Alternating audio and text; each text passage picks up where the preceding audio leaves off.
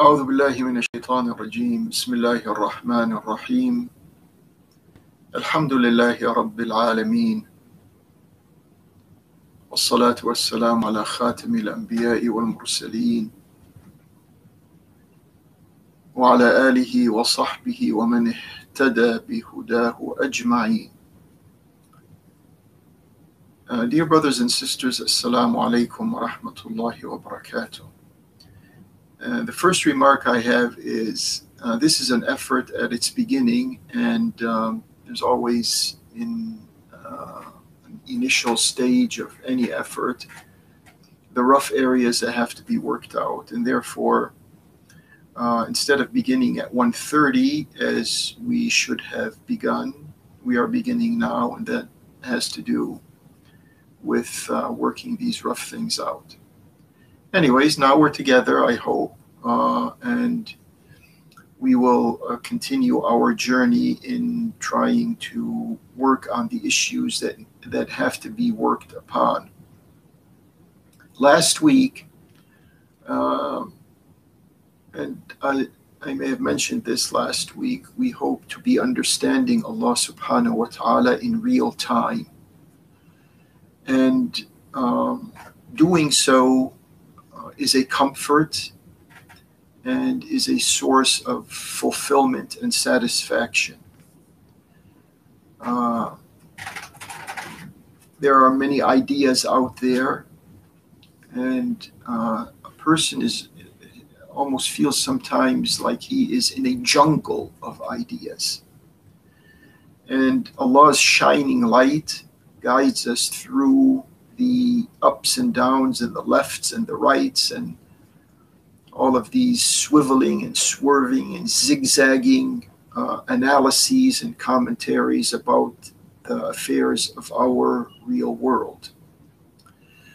Uh, last week, because and last week and the week before and the month before and this week and probably the week after and the month after, we're going to be living still with the issue of uh, racism and prejudice and discrimination and uh, segregation and superiority and inferiority and all of these notions that uh, have been troubling our psychologies and our societies.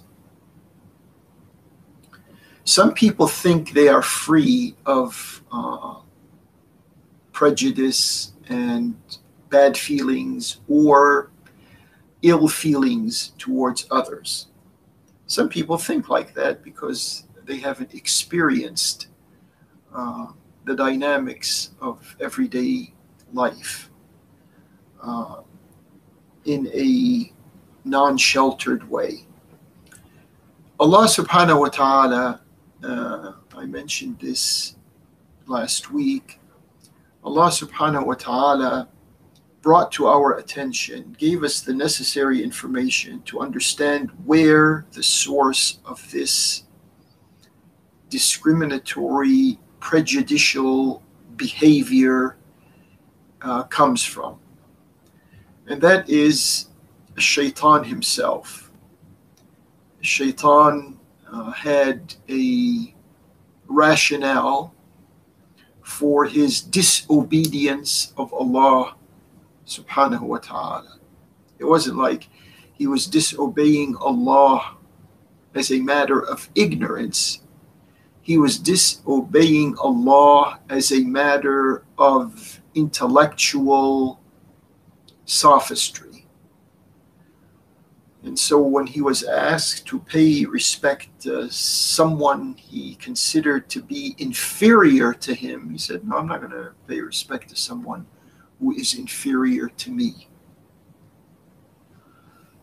This is the basis of all of this, whether you call it racism or nationalism or sectarianism or whatever other discriminatory ism there is. And there's plenty of them out there. And they're all over the world, and no race or nationality or religious persuasion or anything is free of them. They all have them. They're more concentrated in some uh, than in the others. I grant you that. But it exists across the board. So, in practical life, uh, this individualistic discrimination takes on a pluralistic representation. And that is called al asabiyya. And we will see how this plays out in real life historically. And by understanding history, we can understand our current times. Uh, and so we will begin with uh, Surah Yusuf. This is the comfort of being with Allah subhanahu wa ta'ala. This, this short presentation every week, consider it to be uh, an opportunity to understand what Allah subhanahu wa ta'ala is telling us and therefore to uh, feel peaceful about the information and the uh, vital, uh, relevant uh, issues that you and I are subject to in our daily lives. Uh, so I'm gonna I'm going to try to begin a uh, uh, a journey through Surat Yusuf to get a better understanding of the asabiya that all of us suffer from. And I'm not trying to be personal here. I'm not accusing anyone of asabi or anything like that. We're just looking at a social reality and a social trend that we hope we can identify accurately and therefore defeat uh, peacefully. Um, Bismillah ar-Rahman ar-Rahim. The surah begins in the name of Allah, the mercy giving, the extremely merciful. Alif Lam Ra. There are many surahs in the Quran that begin with letters. This particular surah begins with three letters the Alif, the Lam, and the Ra, which in the Latin version would be A, L, and R. Um, this is supposed to be an eye opener and a brain stimulator to the fact that Allah subhanahu wa ta'ala has composed this whole Quran which is in the area of 6,600 and some ayat verses. Out of these 29 letters of the Arabic alphabet. And if a person is familiar with the composition, the informational composition, the literary composition, uh, the uh, future uh, disclosures that and many uh, other sorts of information that are contained in the Quran. And all of this is brought to us just by 29 letters. It's like thinking of the human race, every person in this world has a face. This is a limited area that we all have. No one has something gigantic, and no one has something minuscule. It's all this general area that you see. And how many features does this general, small, very small area that is our face how many features do you see on in this small area? You see one person and another person and a third and a million and a billion and you keep on going and not any two are the same. So this becomes in and of itself a miracle. How can we have all of these different identities in this little small area. And this, likewise, how can we have all of these meanings in just these 29 letters of the alphabet. Alif Lam Ra. تلك آيات الكتاب المبين. These compose the verses of the most clear of scripture. إنا أنزلناه قرآنا عربيا Before we go to this ayah, I want to say that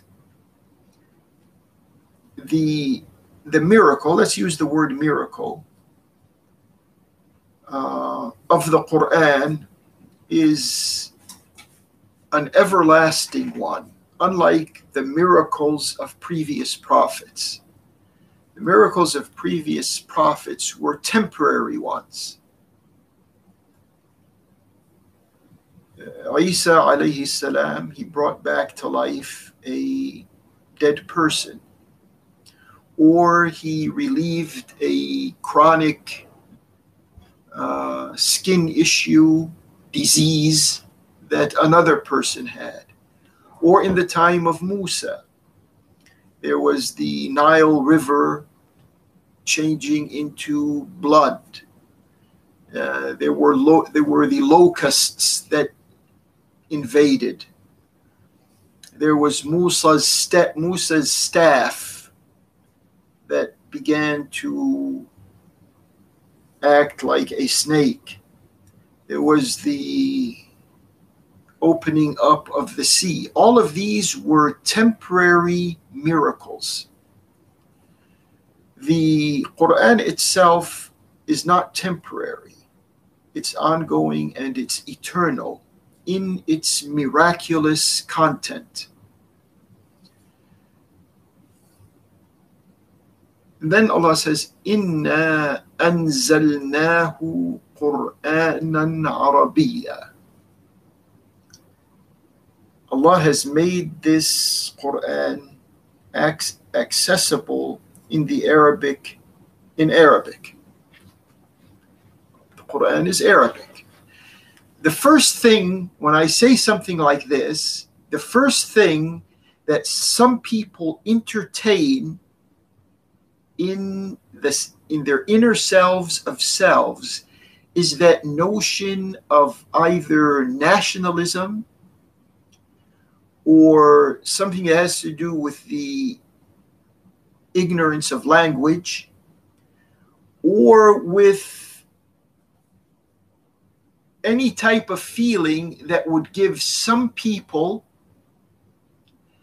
either a feeling of superiority because they are Arabs or a feeling of inferiority because they are not Arabs. Just by reading this ayah, this is a Quranic ayah, it is from Allah Jalla and it says, Inna anzalnahu Qur'anan Arabiya. Do you think Allah Azza wa Jal meant for us to feel something discriminatory because he mentioned this Quran is being revealed in the Arabic language? If we do feel something like that, we have a trace of this initial, primordial, Iblisi, satanic expression in which he refused to pay respect to Adam.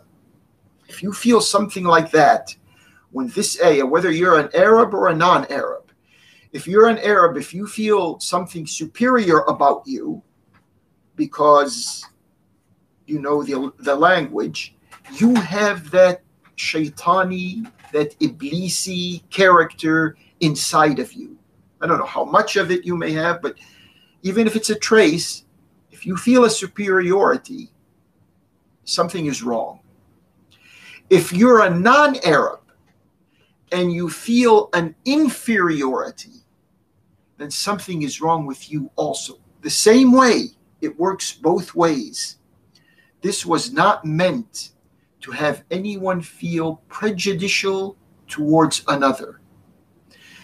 it if if any feeling should be there when you read this ayah, inna anzalnahu Qur'anan Arabiyya la'allakum ta'qilun.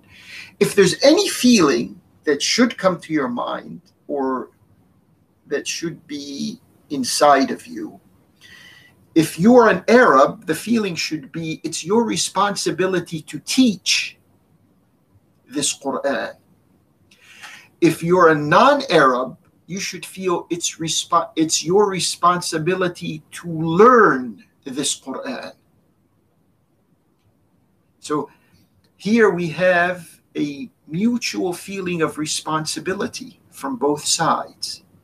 And none of these feelings should generate any of this superior, superiority inferiority complex. So we should read it as normal and as steady as we can. Inna anzalnahu قرآنا عربيا لعلكم تعقلون so that you may discipline your thoughts. Uh, some people, you know, they use different words of the Quran interchangeably. They they they translate yaqilun like yatafakkarun, like yafqahun. Uh, there are there are sometimes subtle, sometimes not so subtle differences in the words that are used. Don't think that some word is used in a particular area and it could be replaced with another synonym. So, لعلكم تعقلون so that you may discipline your thoughts. And when you when you look at the world today, you almost can can detect that a lot of ideas are running wild. There's no disciplined thought process. Allah has revealed to us this extremely important Quran so that our thoughts don't run wild, so that we can proportion our thoughts together. We can tame our intellect.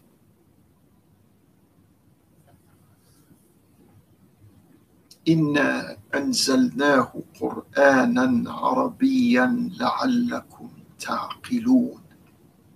نحن نقص عليك أحسن القصص. بما أوحينا إليك هذا القرآن. Notice it's very comfortable to be in the presence of Allah. We are listening to Allah. These are Allah's words. He says, Nahnu, we.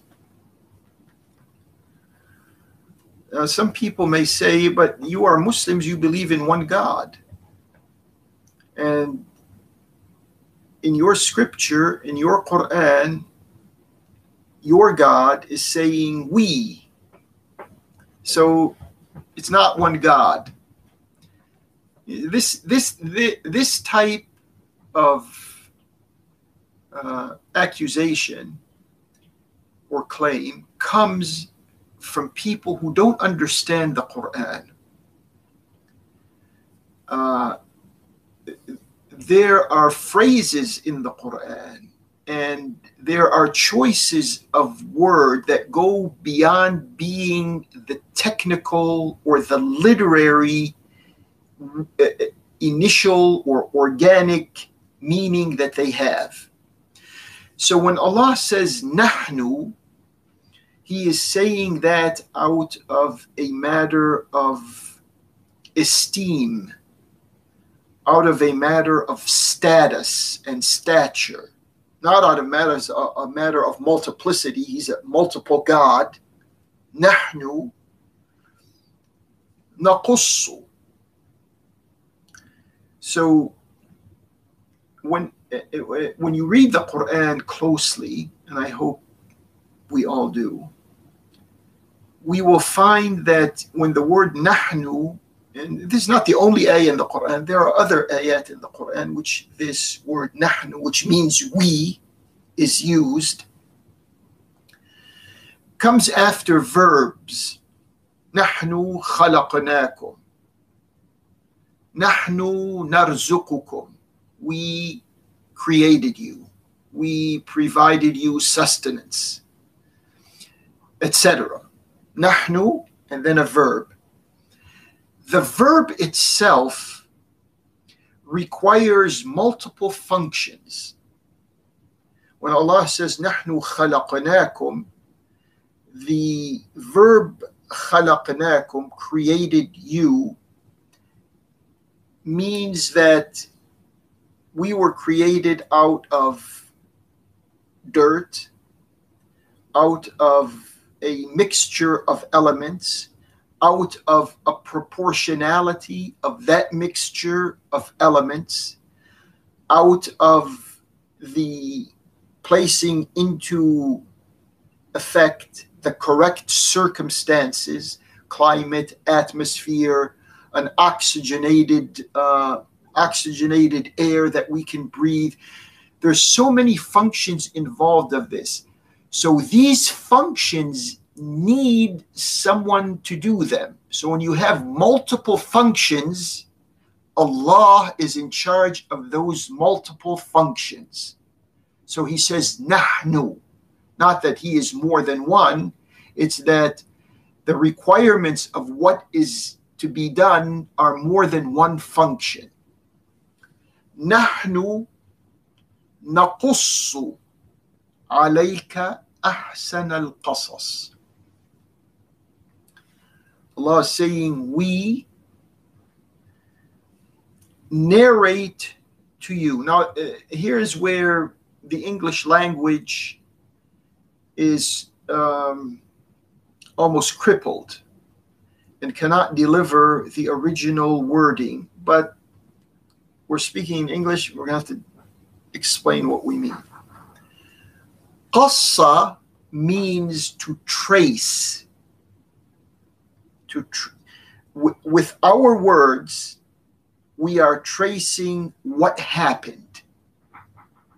That's what the word means exact the exact words to describe the exact events, how they developed. نحن نقص عليك we are tracing or trailing, recomposing in words what happened in reality for you, O Prophet. Alayka, meaning Allah's Prophet, may Allah's peace be upon him and his. نحن نقص عليك أحسن القصص. The best of narratives. Many people, you know, think قصة يقص قصة means story. A story is a story. But القصص has to do with history. And so when Allah is presenting us with these historical facts, the words of Allah are, with the, tra- with the translator's license, recreating the actual event. نحن نقص عليك أحسن القصص in the most perfect way. This is coming to you, this reenactment of events of the past are coming to you in the best possible presentation. نحن نقص عليك أحسن القصص بما أوحينا إليك هذا القرآن.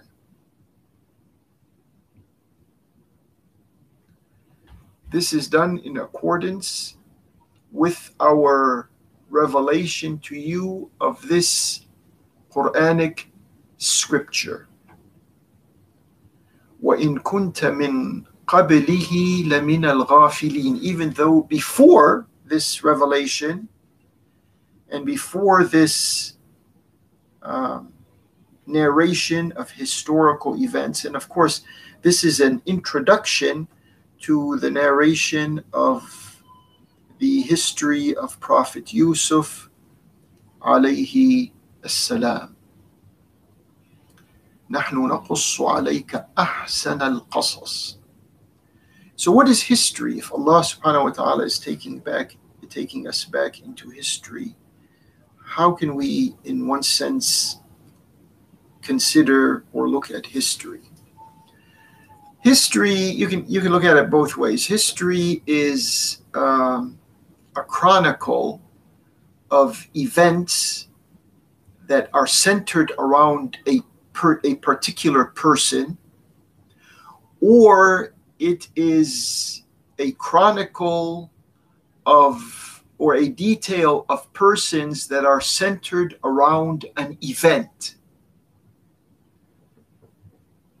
In in Surah Yusuf, this surah that we will be uh, probing more and more, inshallah, to try to get to the bottom of this prejudicial uh, right now in our time it's a racist the news that you and i are subject to has a lot to do with race but uh, there will come times when sectarianism is an issue uh, to be to be blunt the the prejudice in us, this asabiya that we will discover, hopefully, as we go on.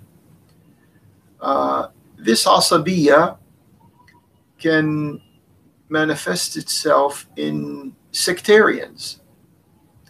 And as much, just like a white person, here I'm, you know, uh, breaking probably into uh, new psychological grounds a white person living in his or her mentality and in his or her environment really doesn't feel they take race for granted. No no one looks at them like they are a race to be pointed at to be to point your finger at. Oh look. You know they grow up not feeling that they are racist. They, some of them are racist and they, they don't know it. And same thing can be said about those sectarians some of them are sectarian and they don't know it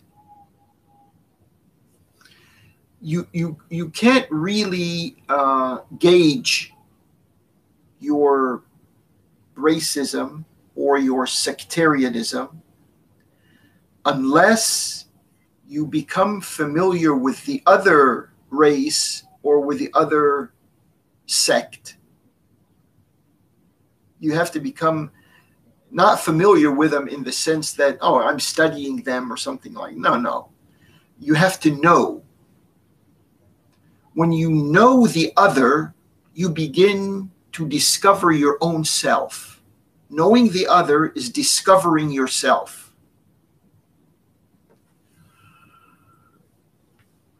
One way of uh, helping us out in this process is today, let's get to the real world. I know this is a little moving out of the exact wordings of the ayat that I just spoke about but it, it will serve like an introduction to the ayat that I'm going to be speaking about.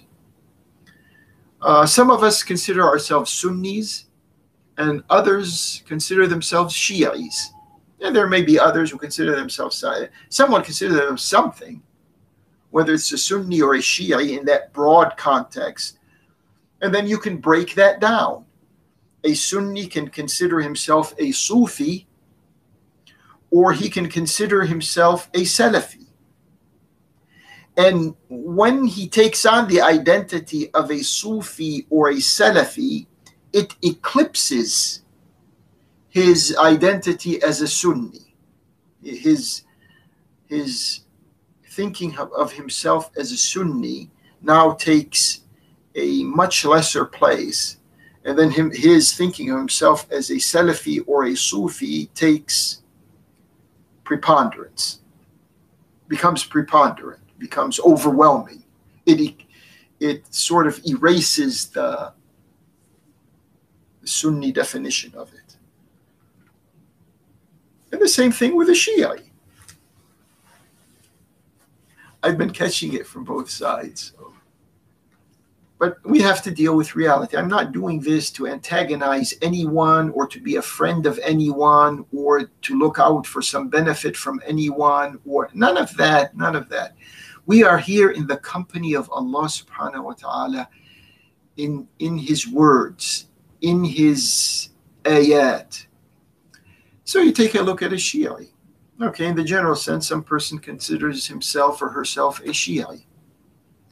But then from there, they get into okay, what kind of Shi'i here? Is he a 12er Shi'i, a Ithna Ashari? Is he or she an Ismaili Shi'i, a sevener Shi'i? Is he or she a Zaydi Shi'i? Etc., etc. And these identities or these identifications of the self, they begin to calcify in the person to such a degree, and we have it now, you know. Uh, attitudes because of either definition, either way, and in whichever way they break down to, they re- refuse or they they don't feel comfortable going to the other's masjid. They all go to Hajj. They'll meet there. Everyone meets in Hajj. But when it comes to the masjid, if a person is a Sunni whatever breakdown, whatever definition, whatever details there are that follow. But generally speaking, the person is, is Sunni, doesn't feel comfortable going to a masjid that is considered a Shia masjid. That is a germination of asabiya. It is, it is part of this discriminatory issue that we are living with of course, it, it has blown up in today's world as racism. Who knows? If things continue this way in another 10, 50, 100, whatever, it'll blow up in our part of the world as sectarianism. And likewise, a person who is a Shiite will not feel comfortable, much less obliged. If we really are living with Allah and accompanying Allah subhanahu wa ta'ala, understanding His direction and His directives, we would feel the responsibility to go to the other masjid, to the masjid belonging to quote unquote the other. Isn't There's no thing as the other, but we're programmed to think like that. You go to certain uh, educational institutions, and then they begin to uh, teach you what the differences are between a, a, a Shi'i and a Sunni, or vice versa. Instead of us dwelling on what is common, we dwell on what is not common. It's like now we're moving from the sectarian uh, context to the, the racist context. And in, if you if you're white, you should feel responsible of going to those who are. I'm using, uh, you know, I don't want to get on anyone's nerves. I'm just go flowing with the mainstream language just for the purpose of communication. So I'm using white and black here in the racial context. So if a person is white, he doesn't feel any responsibility, just like a let's say a Sunni Muslim doesn't feel any responsibility to go to a Shia masjid. And, and likewise, a white person doesn't feel any motivation or responsibility to go to a black, let's say, church or a black school or anywhere there are blacks in congregation. And it goes the other way around too. If you are black or if you are a Shiite, you don't feel a responsibility to go to the others, to break the ice.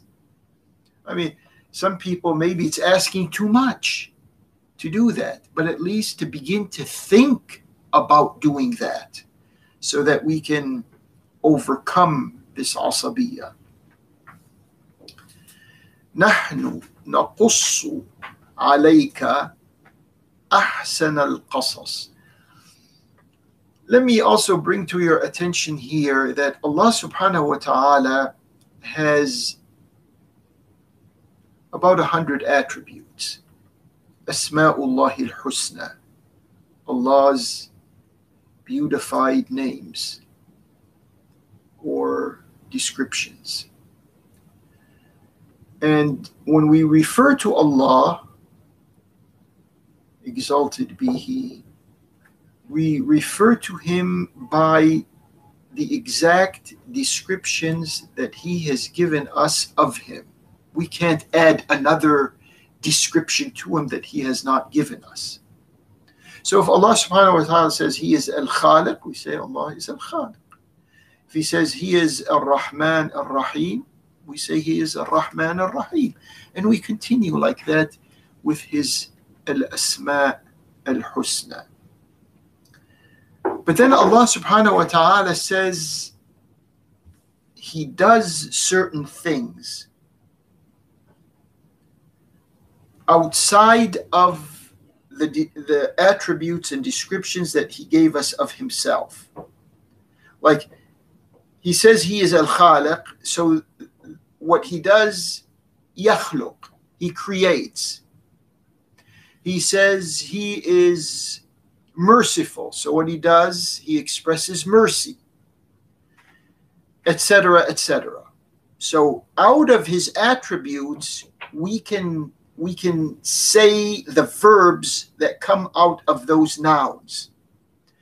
But on the other hand, when we read Allah's words, meaningful words, we find that He attributes to Himself some verbs that are not part of his attributes. Just like in this ayah, نحن نقص عليك أحسن القصص. We narrate to you, O Prophet, the best of chronicles, the best of narrated events. So we can't say Allah is a qas. In the Arabic language, the person who is narrating, meaning the narrator, the word for that is qas. So even though Allah used the verb naqussu, we can use the verb because he used it, but we cannot out of that, we can't go in the opposite direction. When Allah gave us His description in nouns, we can, out of those nouns, extract verbs relating to Allah. Al-Mudhil, Yudhil. Al-Mu'izz, Yu'izz. Al-Khafid, Yakhfud. Al-Rafi' Yarfa. Al-Majid, etc., etc. But when it comes to Allah using verbs, actions, related to him, we cannot attribute a descriptive noun out of that action to him. Um, وما another ayah, I'm just giving examples here. وما رميت إذ رميت ولكن الله رمى in the con this has to do with uh, this ayah it was revealed and it has to do with um, warfare at times of war military engagement allah is saying it is not you o prophet who in today's english pulled the trigger it was not you who aimed the bow and arrow and released the arrow وَمَا رَمَيْتَ إِذْ رَمَيْتَ وَلَكِنَّ اللَّهَ رَمَى It was Allah who was doing that. So rama is a verb, but we can't say Allah rami. We can't go from verb to noun. We can go from noun to verb, but we can't go in the opposite direction. Here is where Allah is inviting us to think. And here is where some people, because they prioritize their thoughts and try to break away from Allah's text, here's where they go wrong. And those who stick to Allah's text didn't have enough intellectual, let's say, power to begin to make a distinction here and be careful with how Allah subhanahu wa ta'ala is wording this information to us. نحن نقص عليك أحسن القصص بما أوحينا إليك هذا القرآن وإن كنت من قبله لمن الغافلين we will go on in Surah Yusuf to explore the this is in the company of Allah Jalla Sha'nu. We're not doing this on our own, meaning we are not trying to improvise things here. We all, all we are trying to do is work our the mind that Allah has given us with the words that He has given us. There are two givens from Allah the meanings that come from Him and the exploration of those meanings that come from Him. His ayat and our minds. نحن نقص عليك احسن القصص بما اوحينا اليك هذا القران وَإِن كُنْتَ مِنْ قَبْلِهِ لَمِنَ الْغَافِلِينَ Even though before this time you were unaware of the information that is coming your way. Uh, this is Allah subhanahu wa ta'ala speaking to Muhammad alayhi wa alihi salatu wassalam. Now, that it felt very comfortable being in the company of Allah and rethinking ourselves through just these two or three ayat at the beginning of Surah Yusuf. But in the coming ayat, we will see how Allah subhanahu wa ta'ala speaks about Yusuf in his family. He speaks about Yusuf in a foreign land. He speaks about Yusuf behind bars. And he speaks about Yusuf being in the in the household of the upper class of society in Egypt. And he speaks about Yusuf when he becomes a minister in today's language, a government official, a minister in the establishment of Egypt at that time notice that these ayat, for those people, I know there's plenty of people out there, not you who are lis- listening, but the general public, plenty of people out there who, when it comes to, oh, how come Allah is speaking about a king? How come he's speaking about a person of influence and affluence? So, what Allah is less than to speak about these types? If they are right, he says they are right. If they are wrong, he says they are wrong. If they are kind, he describes them as they are. If they are tyrannical, he gives us the necessary information to deal with them. They are not beyond our reach. This type of crippled psychology that we have, generally speaking, has brought us to where we are today. When someone today wants to speak about the land of the Quran, Arabia. I say, oh, what are you doing? There's thousands of people right now behind bars. We're not supposed to put our God given mind on this issue, deal with it. There's some tyranny, there's some oppression, there's some injustice that is at work. We're supposed to look the other way as if we're not responsible human beings. When there's thousands behind bars now in Arabia, There are thousands now in Arabia who are not permitted to travel. They're not behind bars. They're not incarcerated in a prison. They're incarcerated in a country. And we're not supposed to be able to speak about this. There are decision makers in Arabia. We, I wouldn't be speaking about Arabia if it wasn't for Mecca and Al Medina. It'd be just like some other country, tin pot dictators ruling all over the place. But we should be sensitized to the fact that these tin pot dictators have control of Mecca and Al Medina. This should concern every Muslim in the world who is reading this Quran and who is in the company of the majesty of Allah Jallat Hikmatuh. This is our responsibility. You should be speaking about this. Military bases being built in uh, Al-Ard al-Haram, military impositions, establishments, systems, hierarchies, forces that have stifled, suffocated, choked off Mecca and Al Medina from the rest of the Muslims in the world. And that was done because of this systemized asabiya that has fractured the Muslims. Two billion plus Muslims in the world have been fractured into 57 main asabiyas called nation states in the world. This is the culmination of asabiya.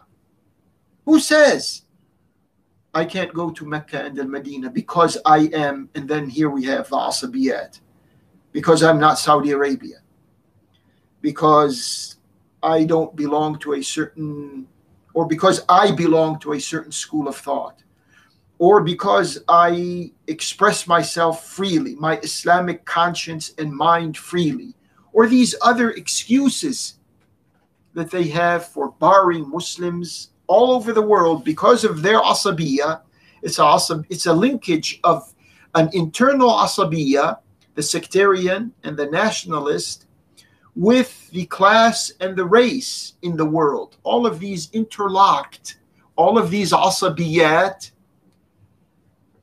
Al asabiya is simply the collective ego, the pluralist collective ego that has placed these barriers between us and the Prophet of Allah, between us and the land of the Prophet of Allah, between us and the book of the Prophet of Allah, between us and the history of the Prophet of Allah. There are many obstacles, and our number one enemy here is our ignorance. Don't tell don't let anyone have you believe anything else. We have many enemies, no doubt. But our number one enemy is our own ignorance. And we have to defeat this enemy, this ignorance of ours. And hopefully, at this time, every week, if I can begin it on time next week, inshallah, I'll try my best. We will contribute to defeating this enemy of ignorance that made it possible for these wars of aggression and this imperialist colonization of our lands. This was all done because they colonized our minds. We have to get rid of this. And the only surefire way of get, getting rid of this is to be in the presence of Allah. And this book of His is His trust to us. And hopefully, at this time every week, we will hold our hands together metaphorically, we will bring our minds together with Allah's assistance and we will subdue this ignorance and eliminate it from among us. اللهم اجعلنا من الذين يستمعون القول فيتبعون احسنه ومن احسن من الله ومن احسن قولا ممن دعا الى الله وعمل صالحا وقال إنني من المسلمين والسلام عليكم ورحمة الله وبركاته peace.